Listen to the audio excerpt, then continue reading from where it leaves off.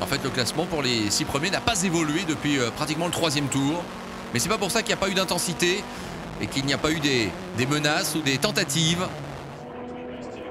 En tout cas, chez, euh, chez Hightech, on s'apprête à célébrer la victoire de Ranger van der Zande et ce sera évidemment une très très bonne performance de la part du néerlandais que de gagner sa toute première course en F3 britannique.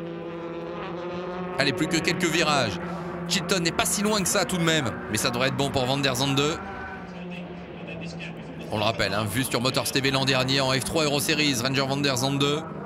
Il s'était mis en évidence sur quelques courses, notamment à Pau, on s'en souvient très bien. Allez, dernier virage. Et ça va être bon.